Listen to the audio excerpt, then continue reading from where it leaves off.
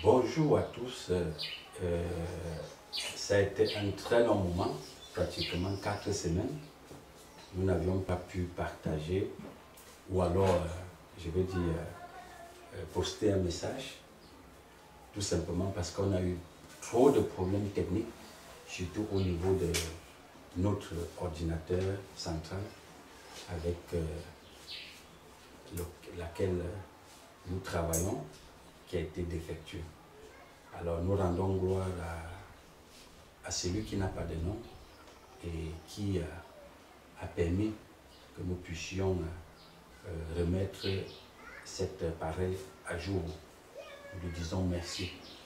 Et aussi merci pour les nouveaux abonnés parce que j'ai vu que beaucoup se sont abonnés davantage malgré que nous avions été pour pratiquement quatre semaines Donc je dis euh, bienvenue aux nouveaux abonnés et bonjour aux anciens abonnés et merci à tous ceux-là qui sont abonnés et qui nous font confiance et qui nous soutiennent beaucoup malgré même que nous n'étions pas euh, euh, comment en activité sur le plan des, postes, mais qui pouvaient nous contacter en aparté pour savoir de quoi il est question. En passant, je dis euh, un très grand bonjour à mon frère Aubin, qui euh, est toujours en train de vouloir chercher à savoir pourquoi je n'ai pas pu poster. Donc, mon frère, le Seigneur a permis que les choses se rétablissent.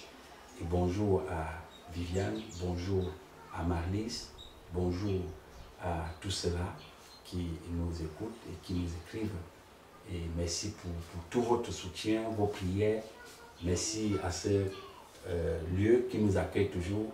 Merci pour tous ceux qui prient pour nous d'une manière euh, euh, présente et d'une manière dans les secrets. Merci pour tout. Alors aujourd'hui, nous allons parler d'un sujet très simple, mais aussi très complexe, c'est-à-dire, euh, ce, sujet m'est venu dans la dimension où euh, j'ai été victime pendant plusieurs années, et chaque année aussi, hein, je continue à être... Euh, le mot victime, c'est pour qu'on se comprenne, hein, c'est-à-dire que des, des, événements où tu perds quelque chose, c'est-à-dire qu'à tout moment, on perd, ou alors tu quittes quelque chose. Voilà, et nous savons que aujourd'hui, il est très difficile pour, pour beaucoup parmi nous de supporter avec euh, euh, l'information que l'ego nous donne tous les jours, de pouvoir quitter quelque chose et sans, sans être, c'est-à-dire, je vous dirais, prêt. Voilà, parce que tout ça, c'est pourquoi on se comprend. Parce que je sais que beaucoup parmi vous, qui nous écoutent savent déjà que euh, la manière dont nous parlons des événements, nous disons chaque fois que les événements sont des, sont des sources hein, d'énergie, de propulsion. Voilà. Mais sauf que ce qu'on dit et ce qu'on vit, c'est deux choses différentes. Parce que quand on dit quelque chose, et si on ne la vit pas, ou alors on ne traverse pas la chose, on ne peut pas avoir encore plus d'expérience. Voilà. Donc, euh, on peut bien dire les événements font partie des, des énergies de propulsion, mais cependant, devant l'événement, on esquive, ou alors devant l'événement, on, on, raisonne, c'est-à-dire qu'on discute avec l'événement. Donc ça fait en sorte qu'à un moment, tu ne comprendras pas quelle est l'étape suivante, quelle est la porte qui est prévue pour toi. C'est-à-dire que d'être ouvert de l'autre côté. Et ce n'est pas d'une manière anodine que dans la Bible des chrétiens, on dit généralement que l'Éternel ouvre une porte et elle ferme l'autre. Ou alors l'Éternel, quand elle ferme, elle ouvre. Donc vous voyez, c'est-à-dire que c'est de ça qu'il est question. Ou alors c'est l'Éternel qui envoie. Ou aussi, si tu veux faire un projet et que c'est sous l'onction de l'Éternel, tu réussiras. Voilà pourquoi on disait aux enfants d'Israël qu'il faut toujours dire que euh, comme l'Éternel permettra. Donc quand l'Éternel permettra, on le fera. Donc comme le Père permettra, on le fera.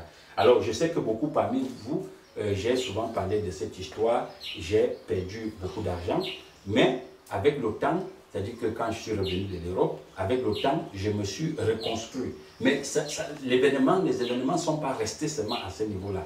Il n'y a pas que ça. Après, nous allons perdre même des terrains, c'est-à-dire nous allons perdre des espaces dans lesquels nous avions investi. J'ai investi mon activité des billets d'avion, où j'ai perdu l'espace.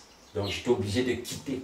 Mais pourquoi? Parce que la personne avec qui j'étais, la personne qui m'avait prêté ou qui m'avait cédé l'espace, n'a plus tenu à sa parole. Donc ça fait que le temps pour courir dans les tribunaux, je, me suis dit, bon, je laisse tomber. Donc vous voyez, en dehors que je perds, c'est-à-dire que l'espace, mais je perds aussi tous les investissements que j'ai faits dans la construction du bureau. Donc j'ai construit le bureau deux fois de suite en moins d'un an. Donc vous voyez un peu. Donc ça fait en sorte que ça m'a beaucoup amené à réaliser, à découvrir cette dimension que quitte, quelque chose, il faut quitter. Donc quitter tout. Hein, parce que, euh, et c'est pourquoi vous voyez euh, dans, dans les Écritures, on dit, euh, Jésus dit que si quelqu'un veut me suivre, qu'il quitte son père, sa mère, sa famille, sa patrie, et qu'il quitte tout, qu'il perde même sa vie. Bon, en fait, Jésus ne peut pas dire la vie, hein. il va dire qu'il perde son existence, donc l'existence d'un temps, pour le suivre dans la vie. Et vous voyez que tous ces événements-là, jusqu'aujourd'hui, que je continue davantage à voir ces genre de, difficultés, ces genre de, des événements, ça m'amène à réaliser que Abraham était un gars béni je, voulais savoir si, est-ce qu'on appelle ça euh, perdre l'échec ou c'est une, une sorte d'évolution? Voilà, très bonne question. Pour, pour l'être qui n'est pas réveillé, c'est l'échec. Parce que l'échec, c'est pourquoi vous voyez, c'est à cette dimension que la guerre va naître. C'est-à-dire les guerres vont naître dans les familles parce qu'un cousin, une cousine ou un frère, c'est-à-dire que ton frère, même de même père, même mère, c'est-à-dire que peut chercher à te supplanter ou alors à te mettre les bâtons dans les roues. Parce que dans les familles, on retrouve beaucoup l'esprit de jalousie. C'est-à-dire qu'il y a dans les familles où euh, euh, si un petit frère ou un grand frère fait comme s'il évoluait, alors les autres qui n'ont pas évolué vont lui mettre les bâtons dans les roues. Est-ce que vous voyez un peu? Et, nous, moi, je vis ça constamment. Vous voyez un peu, c'est-à-dire que la famille, dans la famille, ce qu'on appelle famille, c'est-à-dire que parce que la famille, c'est une dimension euh, du bas astral, les familles biologiques. Et dedans, il y a beaucoup de coups. Vous voyez? Maintenant, en dehors de la famille, il y a maintenant les rapports que nous devons avoir avec les autres. C'est-à-dire que d'autres composants qui peuvent être des humains, mais qui ne sont pas, c'est-à-dire que de la famille biologique, avec qui vous serez, vous pouvez ne même pas être en affaires, mais vous pouvez être, c'est-à-dire que euh, comme des sympathisants. Mais sauf que les paroles que vous échangez, les accords, les, les alliances que vous faites, parfois elles ne tiennent pas. C'est-à-dire ceux-là que vous avez rencontrés, c'est eux qui vont vous mettre les bâtons dans les roues. Est-ce que vous voyez un peu? Et à ce niveau-là, quand tu n'es pas conscient, tu vas appeler ça l'échec. Vous voyez un peu? Je prends un peu l'exemple sur mon père, qui a conçu deux immeubles à Yaoundé, et Emma Basé, l'ancien maître qui ont fait Yaoundé, a cassé. Donc ça fait comme si mon père a fait l'échec. Donc tu vois, comme c'est quand même deux immeubles et qu'on vient casser, c'est l'échec. Est-ce que vous voyez un peu? Donc ça fait un moment que mon père décide que, bon, en tout cas, moi je quitte même Yaoundé. Donc vous voyez que les événements parfois sont violents. Et c'est elle qui donne l'orientation à la prochaine étape de notre existence. Maintenant, si j'appelle ça échec, ça veut dire que la prochaine étape dans laquelle je vais entrer, il y a deux choses. Je serai, je serai méchant et je vais chercher aussi à faire tomber quelqu'un d'autre. Est-ce que vous voyez un peu? Ou alors, si je refuse d'accepter l'événement, je dois lutter contre celui qui veut m'attaquer. Ou bien celui qui m'attaque. Ça fait que nous allons entrer en guerre. Et tu sais, quand on est dans des comportements de, de, de, de réaction, on est dans des attitudes de guerre. Vous voyez, dans des attitudes de guerre. Et la guerre naît à partir du moment où l'ego de chacun parle. C'est-à-dire que ton ego te dit non, on ne peut pas te faire ça. Tu, as fait quand même 10 ans pour avoir cet argent. Je me souviens, quand j'ai perdu mes 50 millions, que ma, ma, soeur, que je suis à manger, mais l'autre fille de ma mère me dit, mais tu as mangé le travail de 7 ans d'années de travail de l'enfant. Est-ce que tu comprends peu? Alors le conseil qu'elle me donne, c'est que je dois amener ma soeur dans la réunion familiale pour, pour, pour exposer ça. Alors ma réponse était quoi? Mais je ne peux pas le faire. Tout simplement parce que j'ai dit, j'ai compris que le ciel m'a jugé. Vous voyez, j'ai compris que l'Éternel a voulu que j'avance. Alors j'ai dit, comme je sais que c'est l'Éternel qui bénit, c'est l'Éternel qui donne, c'est lui le pourvoyeur, mais je veux continuer. Elle est, elle est juste, c'est-à-dire un instrument pour me propulser. Est-ce vous voyez Et je suis pas allé devant la, famille avec cela. Donc, si j'allais devant la famille, c'était une façon de l'exposer aussi, ou c'était une façon de me plaindre. C'est vrai que tu peux aller, hein. je ne dis que ce qui, si ça arrive à quelqu'un d'autre, qu'il n'aille pas dans la famille pour exposer. Tu peux aller, et peut-être même dans la famille, on peut trouver une solution. Vous voyez un peu? Mais sauf que, j'ai dit dans le cas où, c'est-à-dire que tu as une connexion et que tu comprends la direction de celui qui pouvoir. C'est pourquoi l'apôtre Paul, quand il a traversé tous ces genres d'étapes, il a fini par dire que j'ai pu tout par le Christ. Donc il arrive des moments où, quand nous sommes vraiment connectés, nous sommes vraiment, la, notre guidance cosmique est réveillée et conduite par le Créateur, il y a des choses que ce n'est que lui qui peut nous donner l'orientation. Et c'est pourquoi, dans mes prières, pendant des années, j'ai toujours dit, ne me laisse pas confus. Ça, c'est une prière que chacun de nous doit faire. Ne me laisse, Seigneur, ne me laisse pas confus. Parce que si je suis confus, si je suis confus devant les événements, devant les circonstances, devant les situations, je n'aurai pas l'étape suivante. Je n'aurai pas la direction. Et quand c'est l'éternel qui te donne la direction, tu serais béni. C'est pourquoi tous ceux qui ont servi l'éternel et qui ont été attaqués par des guerres, nous voyons King David, qui était seulement dans des guerres, avec un proche collaborateur, quelqu'un qui l'a servi pendant longtemps comme Saül, et qui a passé son temps à nous persécuter. Est-ce que vous voyez un peu? C'est-à-dire que pour Saül, David ne doit pas exister. Mais pourtant, c'est David qui pouvait jouer à la harpe pour que les démons, les esprits le relâchent. Donc il y a des membres de famille, les membres dans l'univers que vous rencontrez, il y a des gens dans l'univers que vous rencontrez, leur objectif c'est que vous ne deviez jamais avoir la paix.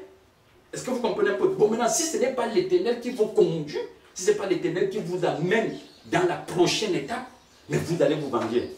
C'est pourquoi David allait à un niveau jusqu'à ce qu'il a approché Saül, il a coupé le pan de son manteau et il lui a présenté que, roi Saül, si je voulais vraiment te tuer, comme les gens me calomnient devant toi, je t'aurais tué. Voici une partie de ton manteau. Est-ce que tu vois un peu Et pourquoi? Parce que pour lui, il dit, Saül est moins de l'éternel. Donc, pour dire que quoi Que Saül est un outil que l'Éternel utilise pour le construire. Et c'est la raison pour laquelle, tellement Saül va quitter, euh, David va quitter, il serait toujours en fuite, il serait toujours dans la, persécution, qu'il va arriver. Chaque fois qu'on le persécute, on lui donne une onction. Chaque fois qu'on le persécute, on lui donne une onction. Chaque fois qu'on le persécute, on lui donne une onction, jusqu'à ce qu'il ira à la troisième dimension de l'onction. Est-ce que vous comprenez un peu? Donc, c'est les événements qui l'ont poussé là-bas. Mais ce qui fait la force d'un événement, c'est que le Tout-Puissant ne te laisse pas confus et que tu comprennes ce qui entre là. Moi, euh, pour ne pas dire perdre, hein, parce que la question était est-ce qu'on doit dire perdre? Donc, quand je dis le mot perdre, c'est pour que ceux qui nous écoutent comprennent bien de quoi il est question. J'ai renoncé, si vous voulez, à beaucoup déjà de choses. Dans ma petite existence, c'est mon petit parcours, qu'à un moment, parfois, quand c'est comme si l'ego enfoui veut me montrer que mais tu, tu, aurais déjà eu beaucoup de choses si tu n'avais pas renoncé. Et à un moment, je dis, je regarde, parfois ça me fait balader, je passe, je regarde ceux qui sont déjà morts autour de moi et qui ont même eu beaucoup de ces éléments euh, de l'univers. Et je dis, mais attends, ils sont morts et certains même ont pris ce qu'ils ont laissé, mais pourquoi me tuer pour ça? Pourquoi bagarrer pour cela? Est-ce que vous voyez un peu? Et, même ce que je dis, j'ai laissé. Vous voyez un peu, non? Quand vous laissez, généralement, et que cette partie-ci, comprenez très bien, tous ceux qui vous persécutent et qui pensent que vous avez, ils vont prendre votre chose, et que vous avez accepté de laisser et partir, sachez qu'ils ne peuvent rien faire avec. Pourquoi? Parce que l'Éternel est très clair là-dessus. Quand il utilise une nation pour te châtier, il va s'occuper de cette nation. Est-ce que vous voyez un peu Donc, ça fait en sorte que ce que vous laissez là, ce que vous renoncez, ça à quoi vous renoncez, c'est lui qui pensait qu'il t'a vraiment eu. Il dit, je l'ai eu, j'ai pris ça par force. Il pensait que quoi? Tu vois un peu, non? Je veux lui montrer, je veux le créter. Il se crête lui-même. Il ne sait pas que c'est lui, c'est en s'est crété. C'est pourquoi on disait que quand on, Jésus vous dit, si on vous givre la joue, vous montrez la joue donc vous déposez là des charbons ardents sur la tête de la personne. Et parfois aussi, les gens, parfois, quand vous ne renoncez pas, quand la persécution est là, vous, empêchez que ceux-là qui veulent vous persécuter subissent aussi. Ou alors qu'ils soient enseignés aussi par l'univers. Parce que parfois, hein, parfois, tu es une bénédiction pour ceux qui veulent te persécuter. C'est-à-dire qu'au fur et à mesure que tu es devant, tu les protèges. Maintenant, quand l'Éternel les utilise pour te persécuter, c'est une façon que quitte. Et qu'eux aussi, ils apprennent qu'eux aussi, ils apprennent. Est-ce que vous comprenez un peu? C'est pourquoi vous allez voir, regardez bien la structure de la famille. Il y a toujours un aîné, après il y a un qui suit, après il y a l'autre qui suit. Est-ce que vous voyez un peu? Et généralement, quand l'aîné vient, il dit, moi je suis votre grand frère, je vous protège. Est-ce que vous voyez un peu? Et quand dans la structure de la famille, il y a papa et il y a maman. Et quand un peut-être soit papa décède ou maman décède, on dit maman qui protégeait les enfants est décédée ou papa qui protégeait les enfants est décédé. Donc pour dire les enfants doivent faire face maintenant eux-mêmes l'univers. Donc tu peux être dans ta famille, tu as une protection pour ta famille, mais eux ils ne voient pas. Pour eux, toi tu dois disparaître. Pour eux, tu ne dois pas vivre parce qu'ils sont jaloux de toi, parce que c'est toi qui es la source de la bénédiction. C'est toi qui produis les richesses. Alors ils te jalousent. Maintenant, quand tu te quittes, c'est-à-dire que quand tu quittes, comme l'Éternel demande de quitter, mais eux aussi, ils doivent maintenant faire face à l'univers. C'est ce qui arrivait avec David, c'est ce qui arrivait avec euh, les, les, les, Abraham. Tu vois, Abraham, il reçoit l'instruction qu'il doit quitter. Joseph, il est vendu. Et quand il est vendu, ses frères subissent. Parce que ses frères pensaient qu'en vendant Joseph, il devait être heureux. Il devait devenir riche. Il devait maintenant vivre, comme on dit couramment. Mais quand Joseph est quitté, Joseph a été jeté dans le puits, vendu comme esclave. Ils ont subi la famine et ils n'ont pas fait face à cela. Il fallait que Joseph, qui est la source de bénédiction de la famille, qui est la source de production, on retourne le chercher. Est-ce que vous comprenez un peu? Donc, parfois, tout ce qui nous arrive, que ce soit dans nos familles, que ce soit avec nos partenaires d'affaires, ne pensez toujours pas qu'on vous a fait du mal. Non, ce n'est pas qu'on vous a fait du mal. Parfois, c'est l'Éternel qui veut que vous quittez et que les autres aussi apprennent. S'ils ont deux choses à faire, soit ils vont tomber, soit ils vont apprendre. Et s'ils apprennent dans le sens de l'éternel, ils reconnaîtront ta valeur tôt ou tard, même si tu es quitté. Ils reviendront dire, ton Dieu nous a enseigné. Mais s'ils restent incrédules, ils vont dire, nous l'avions eu. Mais c'est eux qui ont eu. C'est-à-dire, ils se sont eus eux-mêmes. Et c'est la raison pour laquelle, vous voyez, quand Abraham est parti, on lui dit quoi? Quitte ta famille, quitte ton père, quitte ta maison, quitte ta patrie et pars. Et quand il partait, il n'avait rien. Il n'avait que Saraïde, sa femme qui était stérile, qui n'accouchait pas. Et, il a pris quelques, quelques bœufs. observez bien, quand il part, il arrive où il ne part. C'est-à-dire que l'étape où il devait arriver, qu'est-ce qu'il fait? C'est-à-dire que puisqu'il est parti sous l'onction de l'éternel, il produit, il multiplie. Maintenant, quand il multiplie, il entraîne avec lui un membre de sa famille, c'est-à-dire qu'un membre du bas astral, un produit de société. Parce que le membre de vos familles, tant qu'ils ne sont pas dans l'onction de l'éternel, ils sont les énergies du bas astral. Ce sont des, ce sont des épines auprès de vous. Est-ce que vous comprenez un peu? Alors, il part avec une épine. Et l'épine arrive, c'est ces serviteurs qui commencent la guerre avec les serviteurs d'Abraham. Et Abraham vient dire, mais pourquoi discuter? Alors, choisis. Choisis la partie où tu veux partir, c'est toi qui décides. Où tu veux partir, tu choisis. Et puis moi, je veux partir où tu n'es pas parti. On dit, euh, l'épine lève la tête et regarde vers l'Égypte et dit, c'est fleurissant.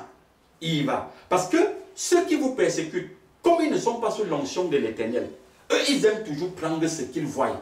Mais ceux qu'on persécute et qui sont sous l'onction de l'éternel, ils prennent ce qu'ils ne voient pas. Je ne sais pas si vous comprenez. Ils prennent ce qu'ils ne voient pas parce qu'ils voient ce que les, les, deux yeux ne voient pas. Ce sont des sorciers. C'est-à-dire ceux qui sont sous l'onction de l'éternel voient ce que les deux yeux ne voient pas. Ils prennent. Parce que même s'ils sont au désert, ils vont multiplier. Ils vont produire. Est-ce que vous comprenez un peu? Voilà, ils vont produire. Et quand Abraham s'est tourné aller du côté qui était comme le désert, il allait multiplier. Et la guerre est venue. Quand la guerre est venue, ça a touché plutôt l'autre. C'est lui qui est sorti de l'endroit où on pensait que c'est la pauvreté pour aller sortir encore l'autre de la captivité. Est-ce que vous voyez un peu? Donc, c'est de ça qu'il est question. Tu nous as toujours dit que le Père, c'est un metteur en scène mhm. et que nous, nous sommes les acteurs, nous on joue un rôle. Est-ce que tu, tu penses que moi, en tant qu'acteur, euh, mhm. est-ce que je peux donner, je peux modifier le rôle de quelqu'un? Peut-être deux membres de ma famille, peut-être, euh, je prends peut-être l'exemple, mhm. je veux aider mon frère. Mhm. Il me dit, bon, j'ai des problèmes, je veux, je, veux, je veux ouvrir une affaire ou j'ai besoin de telle somme. Je donne cette somme-là, mais je me rends compte qu'il ne fait rien avec. Mhm. Il revient encore, il me dit, j'ai voulu faire, mais il y a eu ça, je veux encore l'aide. Est-ce que vraiment, je peux modifier son rôle dans l'univers La dimension de, de mendicité, parce que cette dimension, ça entre dans la mendicité. Ça vient du système euh, occidental, du colon.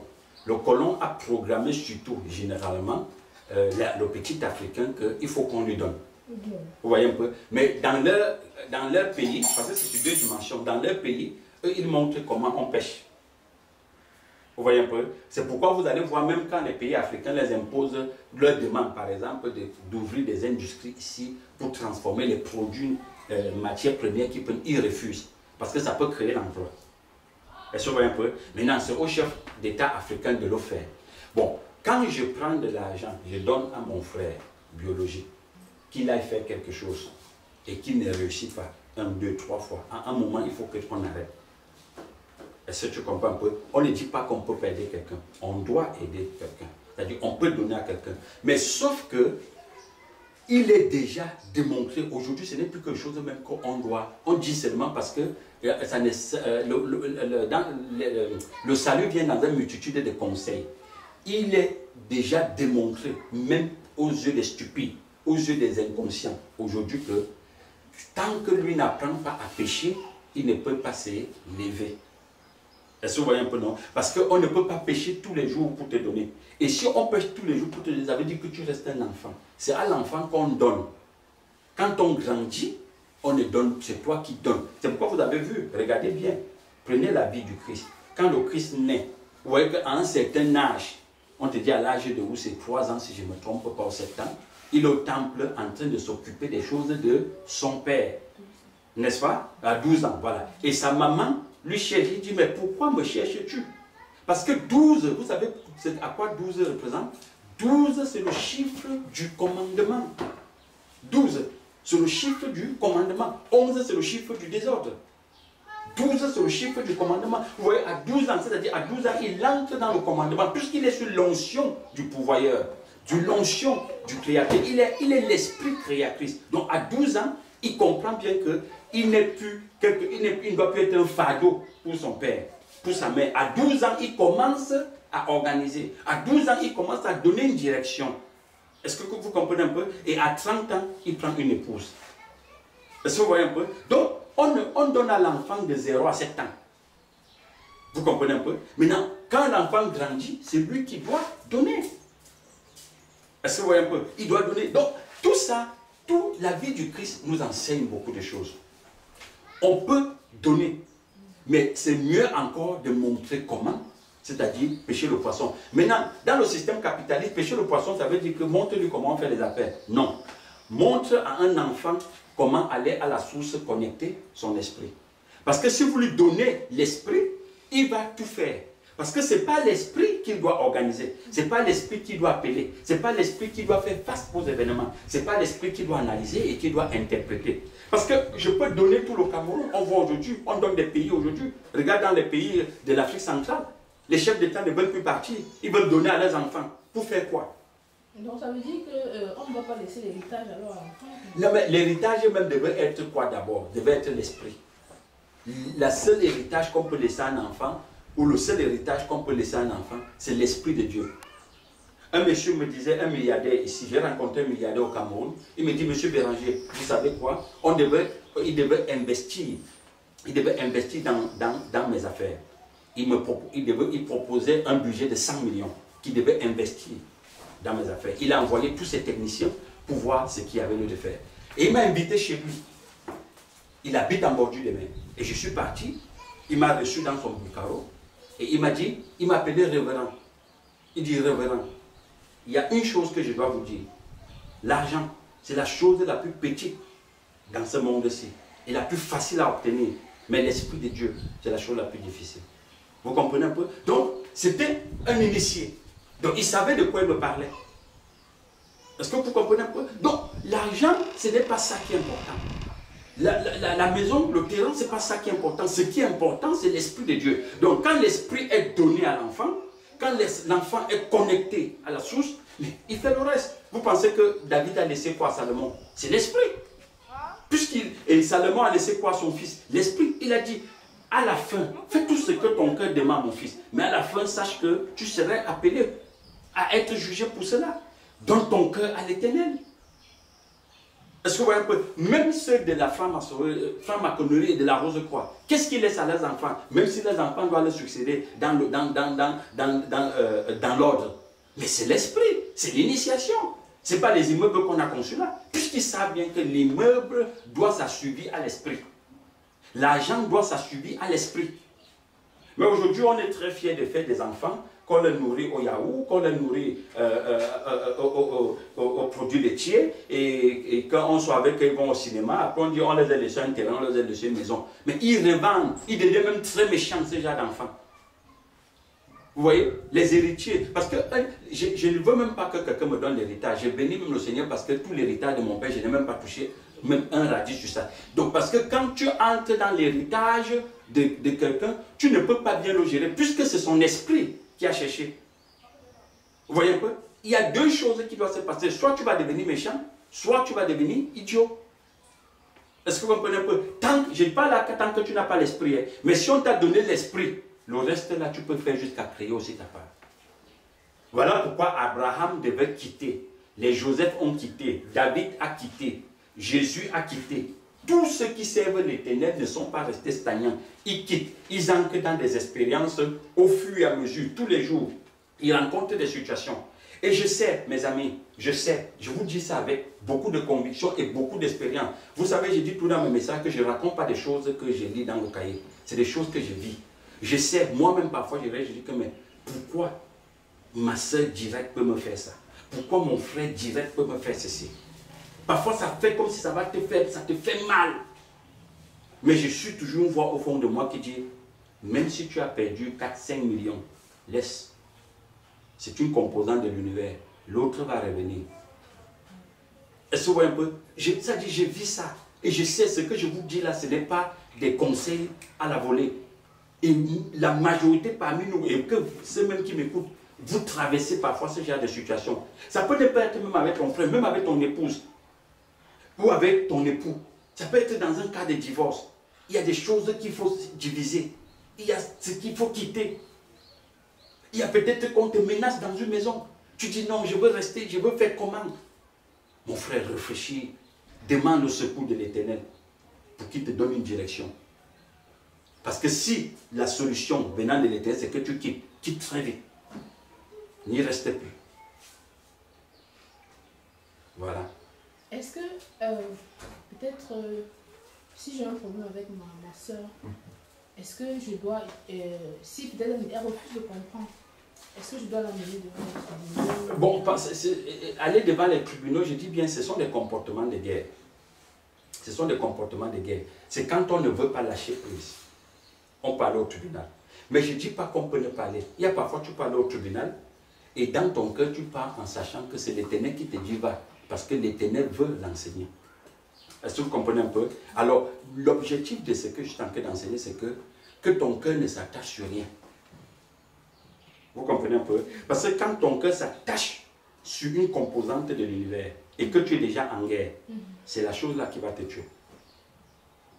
Et nous disons, ce qui ne nous tue pas nous rend fort. Vous voyez un peu? Alors si elle te tue déjà, ça veut dire que ça, ça va te rendre faible. Vous comprenez un peu? Est-ce que l'Éternel peut utiliser, parce que Dieu a, euh, le Père a des, différentes manières de, de booster quelqu'un. Mhm. Parce que tu nous as toujours parlé de les, les échelons, oui. les échelons. Mhm. Parfois, il y a certaines personnes qui ont des esprits mhm. qu'il faut fouetter, comme le Père disait pour Salomon.